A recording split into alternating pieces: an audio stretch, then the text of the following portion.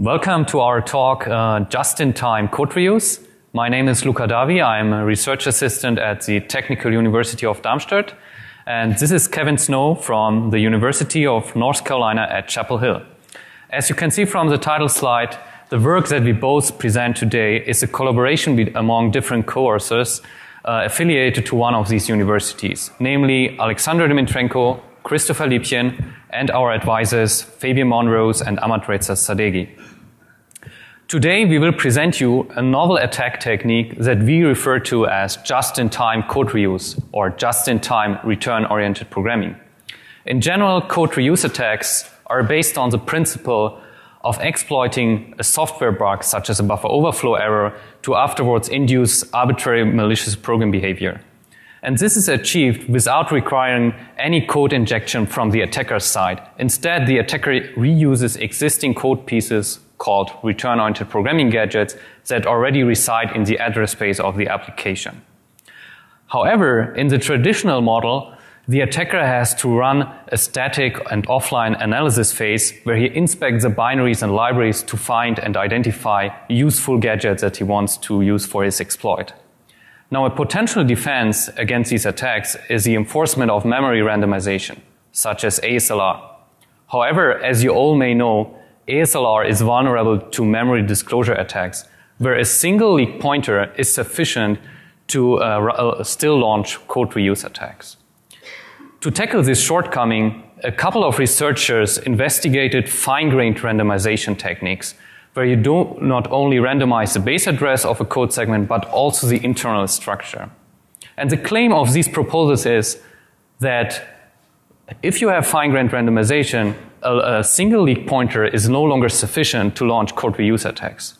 However, as we will show you in our in the next minutes, our technique is able to bypass these schemes and reuse the existing memory disclosure vulnerabilities that are already out there to leak a large amount of memory pages and afterwards uh, identify return-oriented programming gadgets on the fly without requiring any static analysis. Before Kevin will walk you through, uh, as the main developer of the attack, will walk you through all the attack details and even show you an exploit against IE10 on, running on Windows 8 using the latest uh, vulnerability that has been also exploited in the Pawn to Own contest this year, I will briefly uh, walk you through the basics of return-oriented programming and memory randomization. The most widely exploited software programs today are very rich reading processing programs as well as web browsers. And typically, these applications have the ability to embed many types of data. And also they feature scripting facilities such as JavaScript which an attacker can utilize to uh, facilitate his attacks. Moreover, these applications link by default to a large amount of native code, which makes them subject to runtime attacks. Nevertheless, current operating systems deploy the principle of non-executable memory, ensuring that a memory page cannot be writable and executable at the same time, thereby rendering code injection attacks infeasible. Hence, attackers today have to rely on code reuse attack strategies, where they already reuse co code pieces that reside in memory and are marked as executable. And a prominent example for code reuse attacks is return-oriented programming. A good analogy for code reuse attacks or return-oriented programming is a newspaper article. Consider this article that consists of a large number of letters that form words and at the end sentences. If we now are able to extract a couple of letters and combine them in a malicious way, we can derive new words that have been never intended by the author of the text. For instance, in this example, we have the new word return-oriented programming. And this is actually the basic idea behind return-oriented programming. One has only to replace the letters with machine instructions, meaning that an attacker can generate new malicious programs out of existing benign programs. A more technical view of the attack is shown on this slide. Consider an adversary and an abstract view of a program memory layout, where we have segments for code, heap, and stack. In the code segment, we have a couple of so-called return-oriented programming gadgets, where each gadget fulfills a particular task, such as loading a word from memory or adding two registers. Another property of all these gadgets is that they terminate in an x86 ret or return instruction. And this instruction is actually giving return-oriented programming its name, as you will see soon. Moreover, in this simplified example, we consider a couple of stack variables, and the stack pointer is currently pointing to the top of the stack. The first step now of the attack is to inject the return-oriented programming payload. However, the payload in this example does not consist of malicious code directly, but of a chain of return addresses where each return address is pointing to one of these gadgets. Moreover, we assume, as a, in this example, a heap vulnerability, which an attacker can exploit to hijack the execution flow of the program. In particular, he redirects the execution flow to the gadget that is pointed to by the first return address. And this return address points to the stack pivot gadget. This gadget has a particular task in every return-oriented programming payload. In specifically, it sets up the stack pointer so that the stack pointer points to the beginning of our return-oriented programming payload, which in this example is return address 2. Once the final return instruction is issued by the stack pivot gadget, then we pop return address 2 from the stack and redirect the execution to the next gadget in our chain, which is the load gadget and automatically the return instruction advances the stack pointer by 4 bytes. And an attacker can now repeat, uh, repeat this procedure as long as he desires. For instance, after the load, ga load gadget has been executed, the return instruction would redirect the execution to the final gadget, which is the add gadget in this example. Obviously, code reuse attacks already exist for a couple of years. And to give you a very brief and selected overview of the most relevant papers in the space, we have created this slide. It basically started in 1997, where Solar Designer presented an exploit where he was able to redirect the execution to a library function in libc. In 2010, uh, 2001, Nergal advances this idea and showed how to call uh, a couple, a chain of functions in a return into libc-like fashion. In 2005, Kramer presented borrowed code chunks exploitation, which already included the basic ideas of return-oriented programming. Specifically, he used a couple of gadgets to load registers uh, to afterwards call functions. In 2007, Hovav Shaham finalized this idea and presented his paper on return-oriented programming.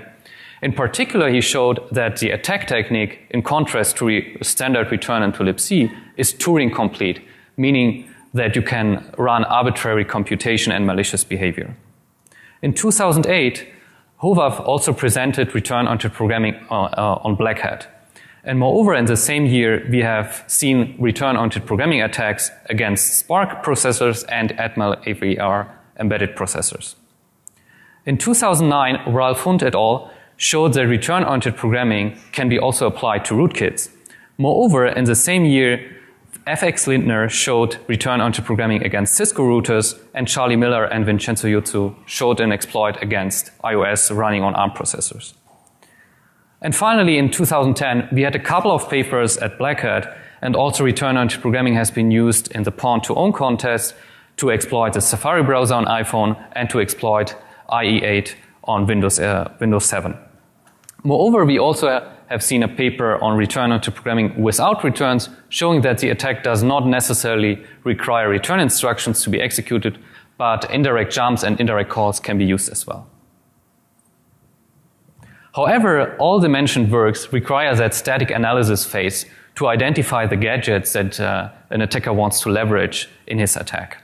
Now, one potential defense, at least from a theoretical standpoint of view, is to employ, uh, to deploy address space layout randomization.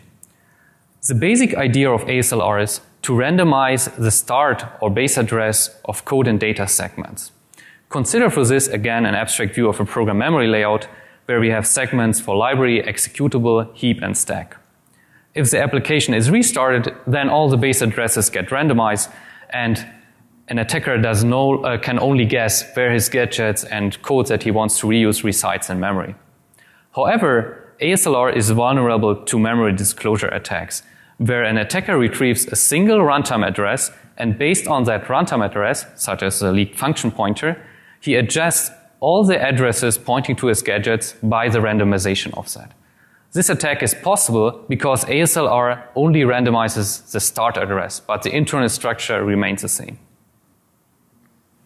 A more detailed example of a memory disclosure attack is shown on this slide, where the example is taken from Cerna's last year's talk at Black Hat. Consider a couple of objects on the heap, where the first object is a vulnerable object that contains, uh, Uh, as a member variable, a buffer. Afterwards, we have a JavaScript string, and finally, an object that contains some interesting function pointers that we want to read.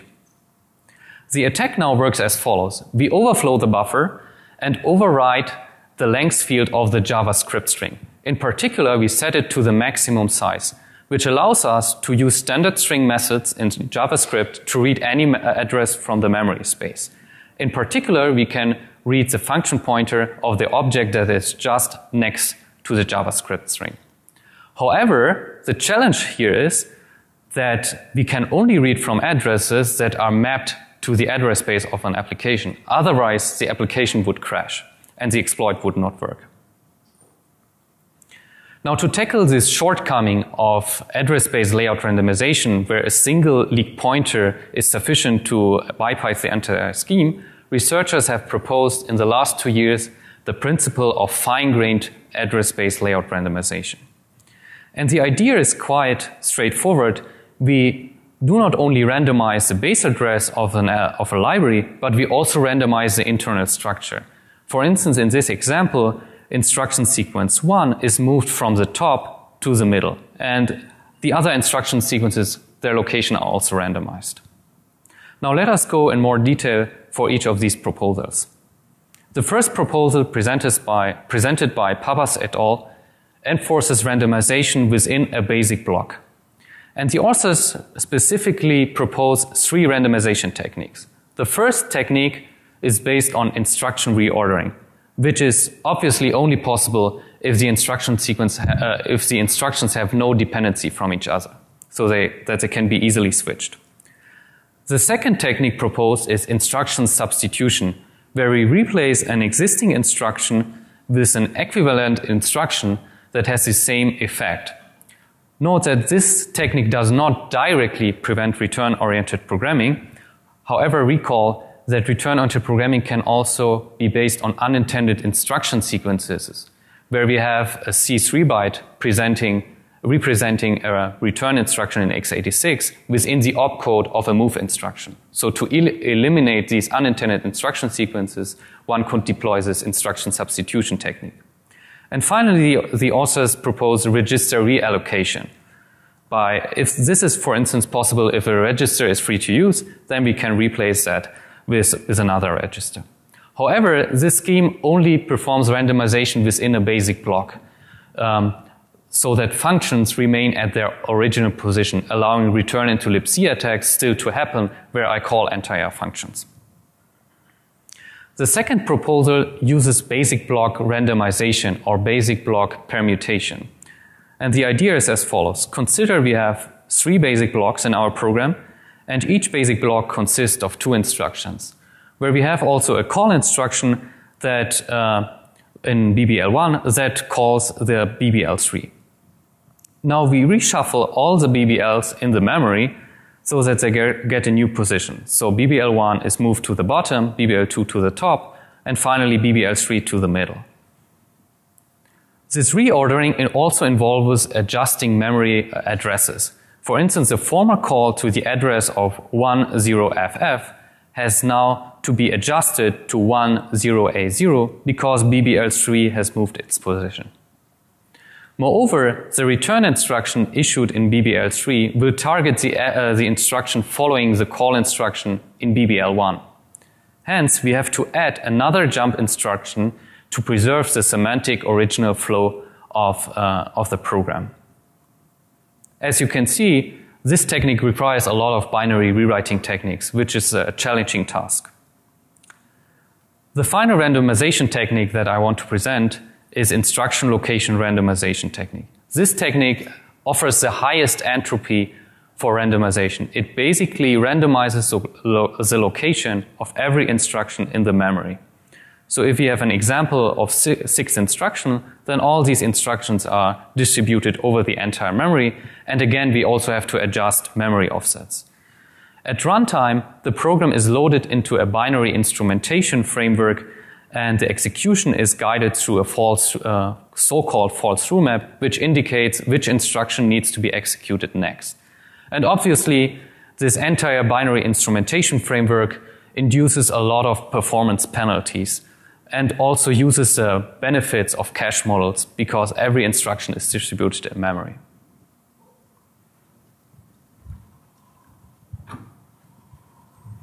All right, so the main question we were trying to answer in the work that we did was whether fine-grained ASLR actually provides any benefit over the standard ASLR scheme. And if it does, we want to know if it is going to provide a viable defense in the long run. So in our pursuit of answering that question, we made the following contributions in our work. First, we developed a novel attack class that does in fact undermine fine-grained ASLR that we dubbed just-in-time code reuse. Second, we also show that memory disclosures are far, far more damaging than many have pr previously believed. Finally, we don't just talk about this idea in theory. We actually developed a prototype exploit framework that demonstrates one instantiation of our idea. And since that instantiation is based on the paradigm of return-oriented programming, we call it JIT-ROP. Before I get into the details of how JIT-ROP actually works, let's talk about some assumptions. On the defender side, or the vulnerable application that we're trying to protect, we assume a non-executable stack and heap. And this essentially means that the adversary is not able to directly inject code to execute as a payload. Instead, they have to make use of some code reuse strategy. Second, we also assume a strong fine-grained ASLR scheme is used with no implementation specific flaws. Think about all the fine-grained ASLR schemes that Luca just presented, combined and just taking the best features of all those with none of the problems. On the adversary side, we have similar assumptions to those that are required to defeat standard ASLR. Namely, we do require that there is a memory disclosure vulnerability present that's going to enable us to read the value of an arbitrary address in memory. Second, we also require that there is some control flow vulnerability that's going to allow the adversary to redirect the normal control flow of the program to whatever payload we're able to generate. Now in practice, this control flow and memory disclosure vulnerability are often actually the exact same vulnerability, just exercised in a different way to achieve these two different goals. So here's the basics of the workflow of our JIT-ROP framework. First, the adversary needs to do a few things manually. Just as they would need to do to defeat standard ASLR, the adversary is going to have to leak a code pointer. And they can do that using the memory disclosure vulnerability that we assume is present. Second, the adversary needs to provide some sort of exploit description that's going to be written in a high level language that we created. And that exploit description is just telling, is just telling us what the adversary wants the actions to be taken after the exploit completes. Finally, keep in mind that all the steps I'm going to talk about are all happening at runtime within the context of a vulnerable application that's making use of a fine-grained ASLR scheme. And because fine-grained ASLR is in use, we know that just leaking a single code pointer is actually not going to give us any additional useful information that's going to directly help us to generate a ROP payload. So the first thing the JIT-ROP framework takes care of for us is given a single initial leaked code pointer, uh, framework will try to map as many pages of memory as it possibly can. And I'll get into the details of how we do that in a few slides. Next, because fine-grained ASLR is in use, we don't know any useful information about pre-existing uh, code sequences that we can use as ROP gadgets. We have to discover all that dynamically at runtime. And so that's the next step that JIT-ROP takes care of automatically for us. Next, because any useful payload that an adversary might want to run does eventually need to interact with the operating system, and the canonical way of doing that is through API calls, uh, we're going to need to search for the API calls that the adversary requires in their exploit description and provide those back to them. Finally, we take all the information that we collected and all of these steps, as well as the adversary's exploit description, which is just this high level language, and we dynamically compile a ROP payload based on all the information we found. Then we return that ROP payload back to the adversary script, uh, and the adversary can then leverage the control flow vulnerability to redirect the program control flow to the newly generated ROT payload. So I know that all looks very easy in our high level diagram there, but we actually had encountered a number of challenges along the way. And the biggest one in my mind is that we have to find a way to map memory without crashing the program. Although we do have a memory disclosure vulnerability available that allows us to read the value at an arbitrary address, it turns out that at least in all the applications we looked at, over 90% of the memory space of the program is actually unmapped. And if we use the memory disclosure vulnerability to read one of those addresses, the program's going to crash and our exploit is going to fail. So we needed to find a way to reliably do this without crashing the program. Second, keep in mind that we have no prior knowledge ahead of time. We do no static analysis to determine what ROP, uh, what ROP gadgets are available because fine-grained ASLR is going to change all that each time the program runs. So we have to be able to find all the gadgets we need, find all the API calls we need, and use all that information to compile a payload all completely dynamically at the time the exploit is running on the victim's machine. And because this all has to be done at runtime, the entire process needs to be fully automated. There's no room whatsoever for error. The adversary can't step in and manually fix anything along the way because by the time this is all running, it's already on the victim's machine. Finally, as I mentioned before, we don't want to just talk about all this. We actually want to see if we could build this framework and demonstrate that we can provide an efficient and practical exploit. So here's how we address some of those challenges. First, for mapping memory, we made the observation that if we can leak just this single function pointer, that actually tells us that there is at least a whole page of memory present. And that's just virtual memory, how virtual memory works. Uh, and if we know a page of memory is present, since memory pages are aligned in memory, we also know exactly where that page of memory starts and where it ends. So when we have that information, we can leverage the memory disclosure vulnerability to leak the content of that memory page. Then again, at runtime, we disassemble the contents of that, of that code page, and we look for all call and jump instructions that point to another page in memory. When we find those, we queue them up, and perform the same analysis on those. And we recursively repeat this process until we've exhausted all the pages that are somehow interconnected with that initial leaked function pointer page. Now that we have all the pages that we need, the next step is to look at API calls. Now consider that the adversary might want to write a payload like this. And this is your classic download a file from the web, then execute it, and try to cleanly exit the process payload. The problem is, when we're iterating over all the code pages in memory, what we usually find is something like this. We see a lot of just standard Windows function calls dealing with Windows, et cetera, et cetera. And often these function calls we find while iterating over uh, the code pages don't match up at all to what the adversary wants to actually use in their payload. So we need a way to actually find or look up those API calls.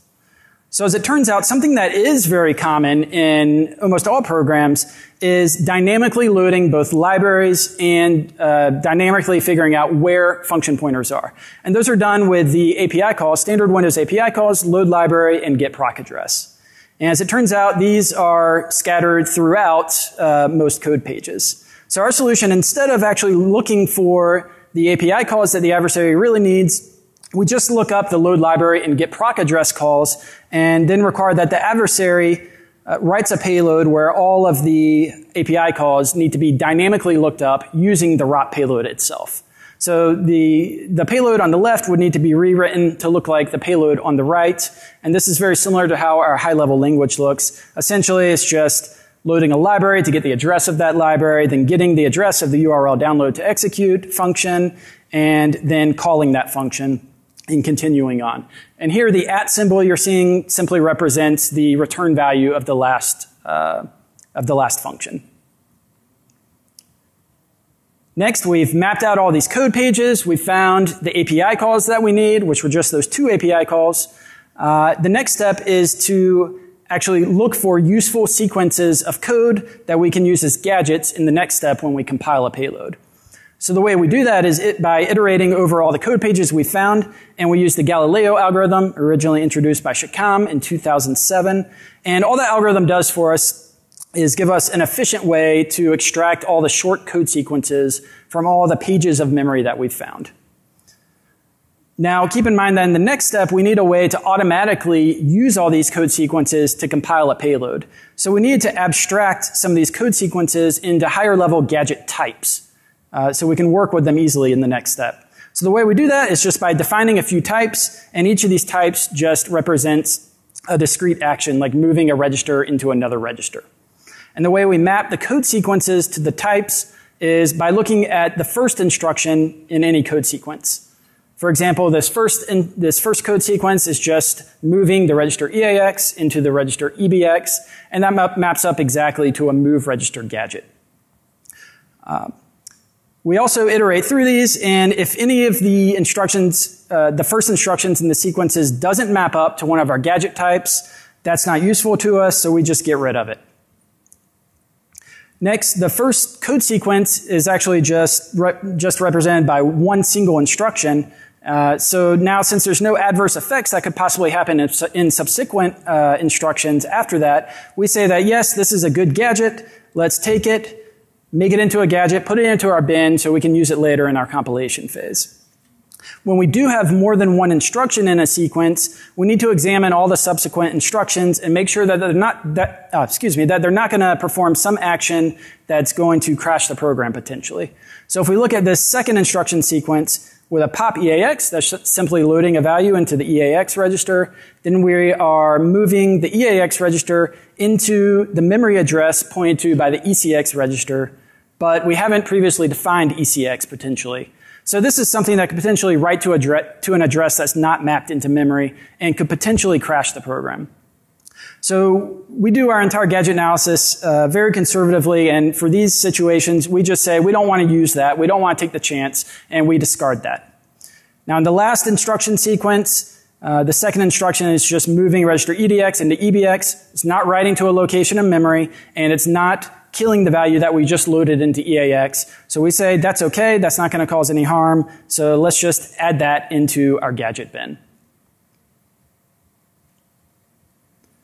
The final step in all of this is taking the adversary's high-level exploit description and combining that with all the gadgets that we've actually found available in the pages we've iterated over and trying to, trying to piece those together into a payload that's actually going to perform the actions that they want.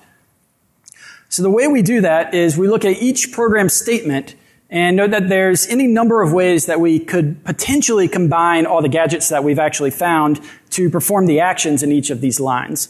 So what we do is generate all the possible gadget arrangements that could fulfill uh, what's needed, and then we look at the gadgets that we have available. And we use uh, algorithms similar to those used in the Q gadget compiler to do this. And this is uh, something that was proposed by Schwartz et al in 2011. Basically, we just, at this point, we have all the potential ways to create our ROT payload, and we look at what we have available, and then we try to fulfill at least one arrangement of gadgets for each program statement. And when we're able to do that, we have a full ROT payload available now, and we can then serialize that into a form that the adversary can use. For example, if this is all running in a web browser as JavaScript, this would be serialized just down to a JavaScript string. Now keep in mind that everything I've presented so far is our initial implementation of JITROP. And so there's a lot of room for improvement in this. Uh, for example, in our memory mapping phase, a lot of times when you're disassembling code, there's also a lot of data intermixed within that code. So we have the potential, there's the potential to misread data as code and accidentally point to, uh, to a page that's not actually code and crash the program while we are mapping memory. So one thing we could do to improve this is uh, have some better algorithms for, for discerning actual code from what's just data, but it's embedded in the code section. Another thing we could do is right now we just look at finding API calls. We haven't explored at all the direct use of system calls. So that's something that could potentially improve things as well. In the gadget finding phase, you notice probably that we're very, very conservative in the gadgets that we find. We throw out anything that could potentially have any adverse effects. So something we could do is lower that conservativeness, but that's going to be at the expense of complexity uh, and adding a lot of code to ensure that uh, nothing bad is going to happen. In the compilation phase, we've basically just defined a very small subset of all the ways that you can combine gadgets to achieve whatever actions the, the adversary wants to, wants to have. Uh, so one thing, another thing we could do to potentially reduce the total number of gadgets that we actually need to find is by defining just more composite gadgets that implement each operation. Finally, we could optimize this entire thing by uh, improving the code throughout the entire framework. But even with all these things that we you know, may do in the future, we, we can still show that our framework does pretty well. Now, one of the big questions is regarding page mapping. And since all of their steps in our framework rely on our ability to map out a large number of code pages, to find gadgets within them, to find API calls within them, it's worth, it's worth looking at how well we're able to do that page mapping in detail. So one of the questions that comes up is, are there actually enough function pointers on the heap or the stack that we can leak in order to map out a significant chunk of the application's memory? So we sort of took the easy way out of this question and we just assume for all of our experiments that you only need to leak a single function pointer. And you'll see what we did in our, our experiments in a second. Second, once we have an, an initial page, uh, we need to check if those code pages are actually interconnected enough, again, to see if we're able to map enough of the memory. And so the way we looked at this was we just tested this on a bunch of different applications uh, that are popular and fun to exploit. Represented by their icons there. So here's how we did our experiments. For each application, we opened that application just with a blank document, used standard Windows facilities to generate a memory snapshot of each of these applications. That includes all the program code and data and where it's located at in memory. Then we built, instead of a JavaScript version of JITROP, we built it into a x86, a native x86 version. And then we took as input to that program each of the memory snapshots and kicked off our entire process using a single code pointer.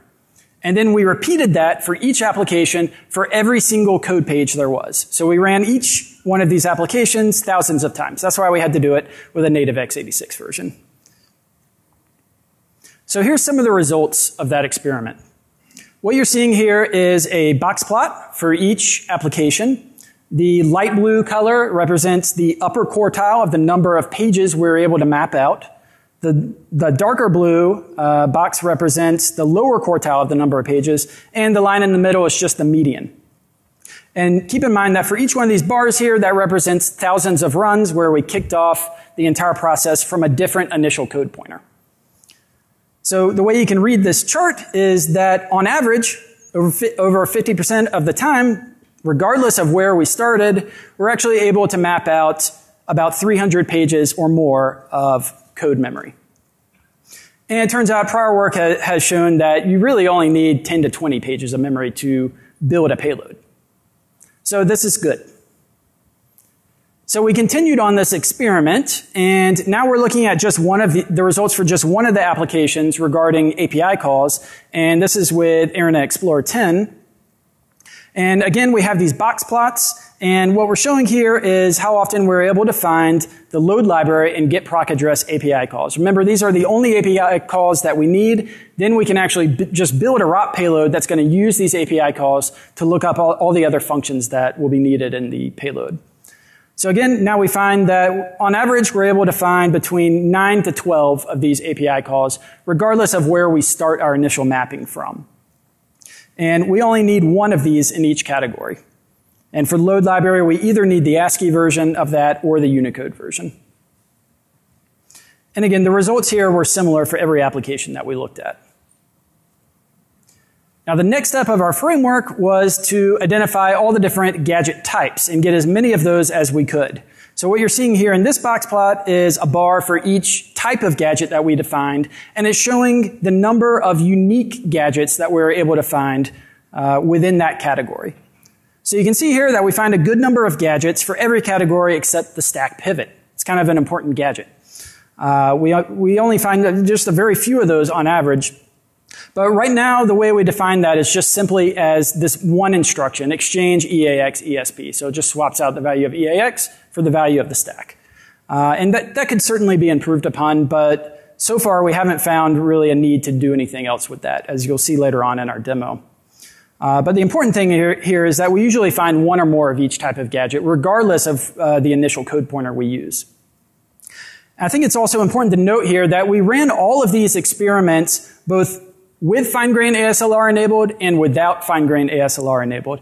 The ASLR implementation we looked at uh, was the most cutting edge one we could find where the source code was available, and that's uh, ORP by Pappas et al. from 2012.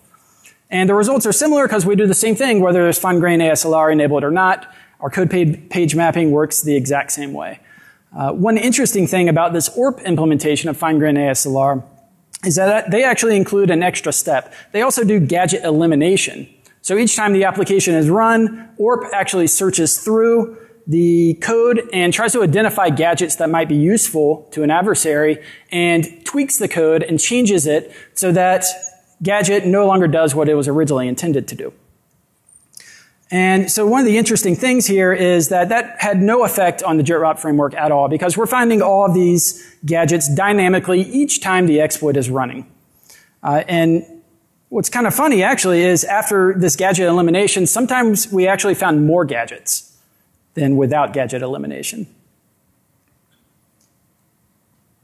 So next we ran, we ran end-to-end tests uh, over a number of different exploit scenarios. So what you're seeing here in these bar graphs is just four different exploits and the number of seconds it took from the user browsing to the web page to the payload being generated and executed on their machine. So the first box here is actually a real exploit, CVE 2012-1876.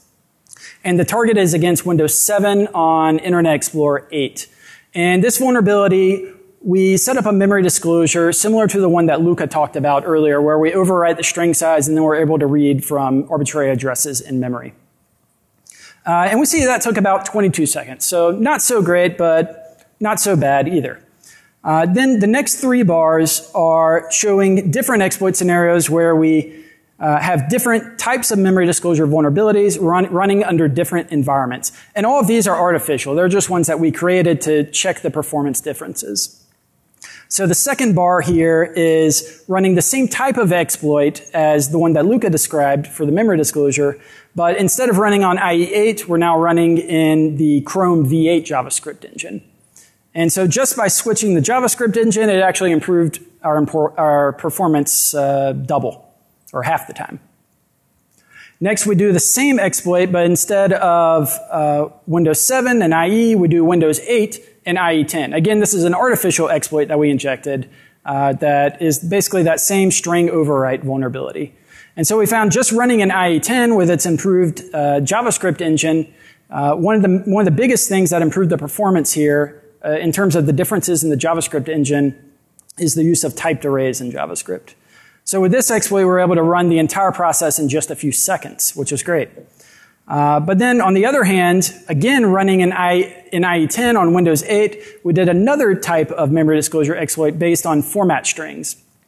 And you can see that's a lot slower at around 15 seconds. And the reason for that is because it takes a lot more to disclose a single byte of memory using a format string disclosure. Basically, every byte of memory we want to read, we have to allocate a number of strings in memory and go through all these format string functions as well.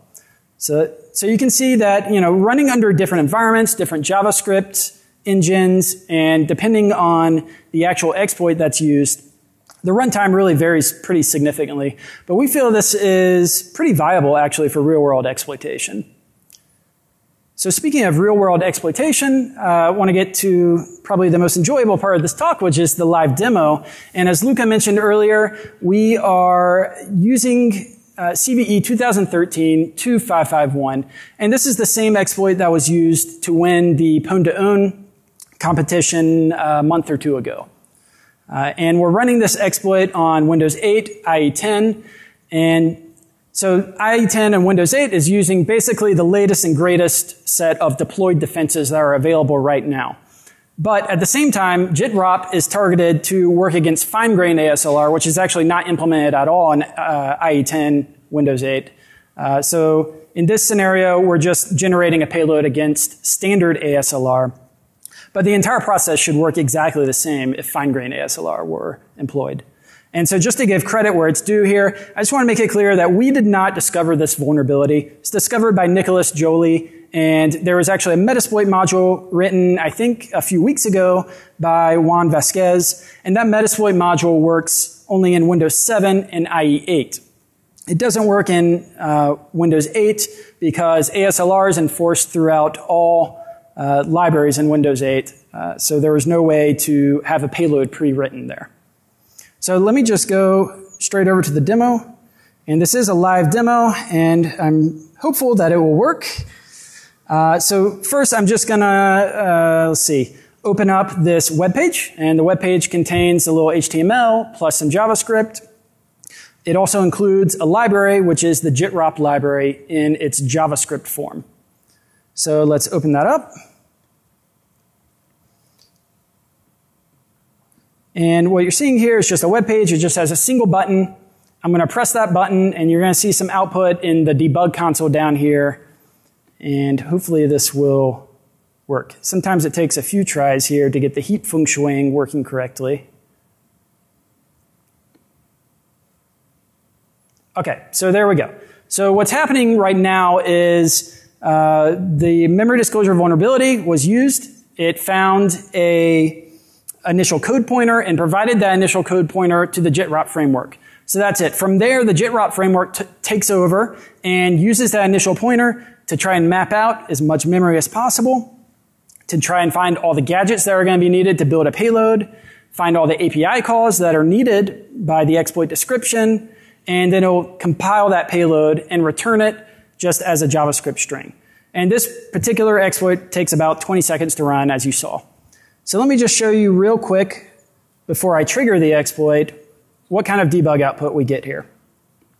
So again, keep in mind, this is all running just as a JavaScript library. Uh, so what we get here is first an output of all the gadgets we found, organized by category. So we have no-op gadgets, jump gadgets, we have stack pivots. Now you saw earlier that one of the ones that we have the most trouble finding is this exchange instruction, but in this case we found 19 instances of it, so there's no problem here. Uh, we have pushes, we have things for moving uh, values between registers, loading values into registers, some arithmetic gadgets, uh, things for loading and storing into memory, uh, arithmetic versions of those, and after all the gadget output, we're showing the API calls and how many of those we're able to find. And remember, we're just looking for get proc address and load library.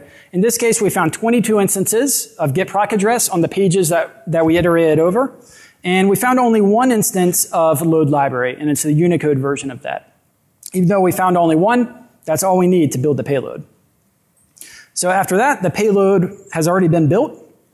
And this is just a textual rep representation of what that payload looks like. It's just listing all the gadgets out, and the values are loaded into various registers, etc., etc. So this particular payload, let me show you what we're actually trying to compile.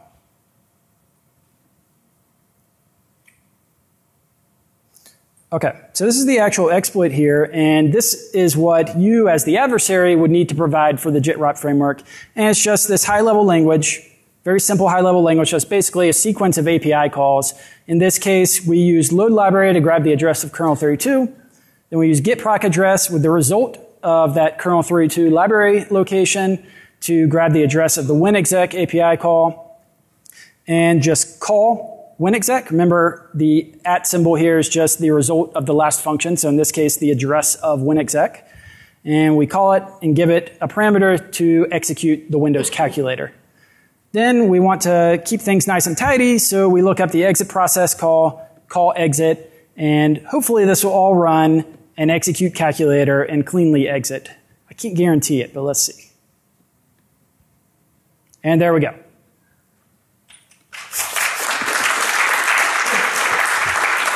And I have a few more payloads that I want to show you. Let me check how I'm doing on time. Okay, great. So I think I have time to do this. Uh, the other thing I want to show you is just running that same payload, but instead of redirecting execution to the payload, let's redirect execution to an address in memory that I know is going to be invalid ahead of time. So, so we're just going to redirect execution to the address of 1, which should be unmapped.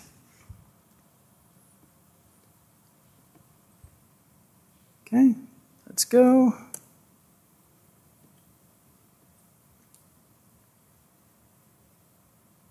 Takes a couple tries here for the heap feng shuang. Okay, got it on the second try. So now again, we're just mapping out all the code pages that are available, finding all the gadgets, finding all the API calls that we need. And the reason I changed the address to one is in order to crash the program. And I want to crash the program because after that happens, I'm going to open it up in a debugger so you can actually see the ROP gadgets as they execute. So while this is running, takes about 20 seconds or so, uh, I can give you a little preview of some other payloads I'm going to show you. So this is just your, your standard does it work payload, a Windows calculator. The next one I want to show you after I go through this debugger is just to show you that we can do a lot more complex things with this very simple high level language. And here I'm just chaining, chaining together a whole bunch of calls. I'm going to open a whole bunch of calculators. Uh, I'm also going to write some data to a file. Then I'm going to open up that data in uh, Notepad so you can see that it was written. And then again, cleanly exit. Let's check on this here. Okay, so we're all done again. Uh, what I need to do is in the debug output, I'm outputting the address of our payload. But remember, we're going to redirect to an invalid address, so it should crash when I close this. Okay, it crashed, so let's open it up in the debugger. This is just a Munity debugger. And I hope you guys can read this when it comes up. It does take a second. Okay. All right, so let me just move this around a little bit so you can see it. Okay, so what you're seeing here is in this top left window is the current code that's being executed. In the right hand window is the current value of some of the registers. And you can see in EAX is 1, which is what we put there. And on the bottom is the current values of what you see on the program stack. So what we're going to do is instead of redirecting execution to 001, I'm going to paste in here the address that I copied out of the debug output, say OK, and restart execution, but I'm going to single step into this so you can see the actual ROP gadgets in action. So I'm going to step into this call, and this call here is just a call into a virtual table function that we've replaced. Okay, so we've called into the very first address of our payload, and we can see that the code that it pointed to, which is a gadget, is that exchange EAX ESP. So this is your classic stack pivot to change the stack over to point to our entire ROP payload. So after this instruction executes, what you should see on the stack up output down here is our entire ROP chain. Okay, so what you're seeing down here is just each address in our ROP chain, and the debugger is kind enough to point out where we're actually getting that gadget from. So you can see our code, using our code page traversal, we're actually getting gadgets from a, a pretty wide variety of different modules that are loaded into memory. And that's just because all these modules are interconnected in some way. So we get, uh, we get a gadget from the VGX DLL, GDI32, in TDLL, we get some from IE shims, and I could continue and go down this, but I won't. Um, instead, what I want to show you is just stepping through some of these gadgets so you can get an idea of what a ROP payload looks like as it's executing, and you can see how we constructed our ROP payload. So we just step through each of these, and all that's happening is each address, one by one, is popped off the stack, and each of the addresses points to some code sequence. That's our ROP gadget. And we continue on, and you can see Values are being popped from the stack and our ROP payload is being consumed. What's happening right now in the payload actually is uh, a small preface to the actual payload that goes in and patches all the null bytes into the payload itself. Uh, null bytes are something we had to get rid of for this particular exploit. So if I continued to step through this, you'd see the entire uh, payload be consumed and eventually Windows Calculator would pop up. But I'm not going to go all the way through that. It would take too long. So I'm going to close this. And I think I should probably wrap up soon. Uh, so maybe I'll skip the, this very large payload. And instead, I want to jump to what would be what most real world adversaries will be interested in doing, which is downloading a file from the internet and then executing it as a payload. So let me just change the payload that's going to be built and executed here to this download exec payload. And I got to remember to redirect execution to the correct place. Okay. That's that. And we can now run this.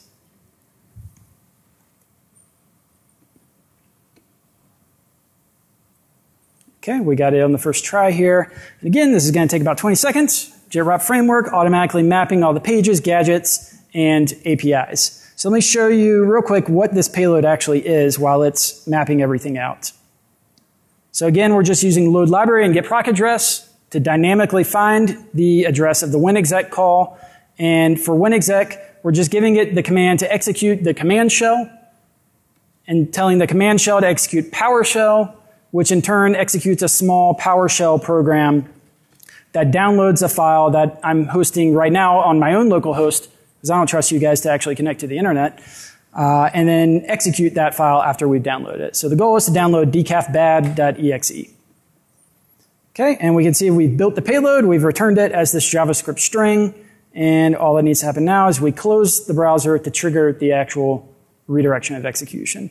And with any luck, Okay, we see PowerShell popped up. We didn't cleanly exit this particular example, uh, so we got the crash message.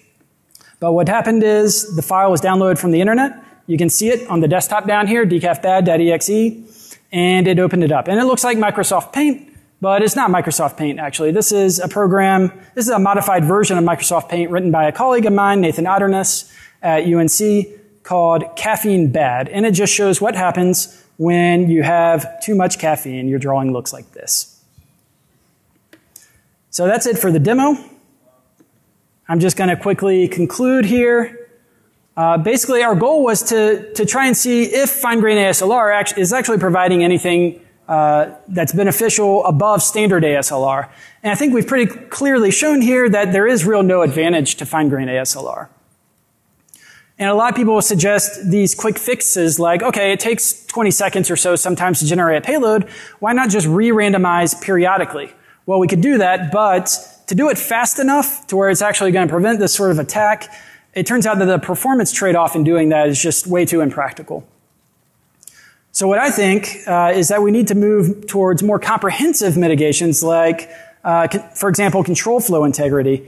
And we don't need, and we need to not just look at these comprehensive mechanisms, but we also need to find practical solutions, so efficient solutions uh, that don't take much runtime overhead to do. So personally, what I'm working towards and what Luca is working towards is more efficient, fine-grained control flow integrity and data flow integrity me- mechanisms. And so that's it. I think we'll take some questions now, if we have time.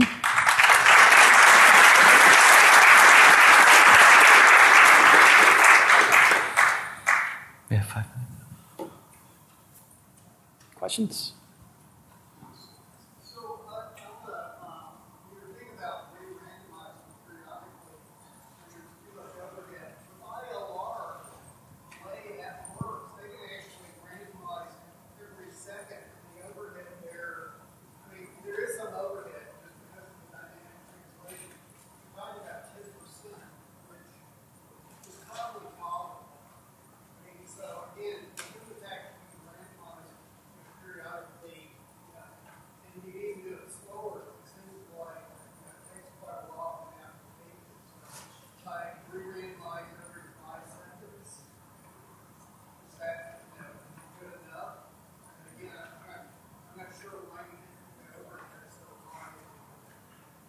Do you want to speak to ILR? Um, so it depends, of course, how uh, which kind of randomization you enforce. So the paper that we have read about re-randomizing periodically was also reshuffling and enforcing fine-grained randomization. And there the overhead was quite big, and they could only do it for a specific kernel. So I'm not aware of the work you are referring to, but the overhead should be quite high if you, uh, in particular, if you want to re-randomize all the libraries that are included into your program.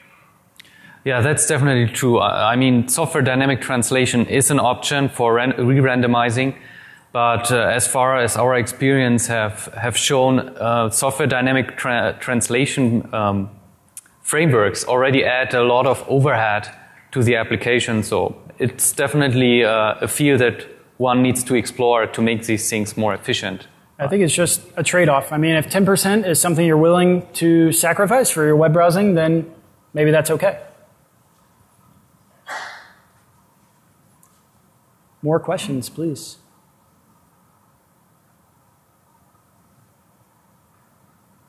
I think everyone is hungry for lunch.